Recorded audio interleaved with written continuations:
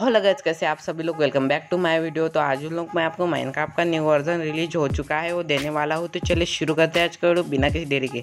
वो वर्जन में new new चीज़ें ऐड हुई है। वो मैं बताने वाला हूँ कौन सी चीज़ें चीज़ें ऐड हुई है। तो तो चलिए शुरू करते हैं आज का वीडियो बिना किसी देरी के।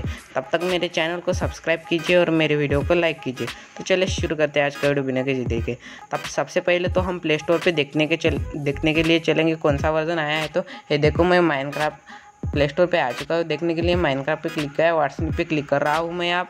ये देखो मैं व्हाट्सएप पे क्लिक करना, किया हूँ। इधर हम नीचे नीचे चलेंगे। तो हमको वर्जन का नेम लिख के आ चुका है। वर्जन का नेम है 1.19.31.01 वर्जन का नेम है। तो आप इस वर्जन को डाउनलोड कीजिए और इन्जॉय कीजिए और मुझे कमेंट में बताइए कैसा लगा वर्जन को। तो और इस वर्जन की आपको कमेंट बॉक्स में डाउनलोड लिंक मिल जाएँगे। वहाँ से डाउनलोड कीजिए और इस वर्जन को इंजॉय कीजिए। और इस माइनक्राफ्ट की एमबी भी बढ़ गई है। ये देखो five hundred twenty nine MB का माइनक्राफ्ट हो चुका है। तो हम माइनक्राफ्ट के में देखते हैं।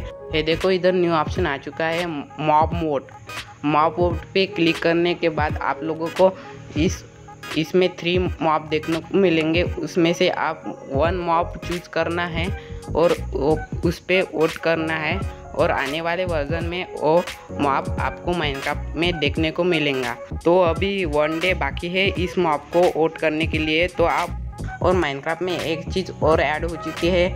इधर हम लोगों को थीम नई दिखने को मिलेंगे न्यू वर्ल्ड क्रिएट करने के लिए। ये देखो नया थीम आ चुका है।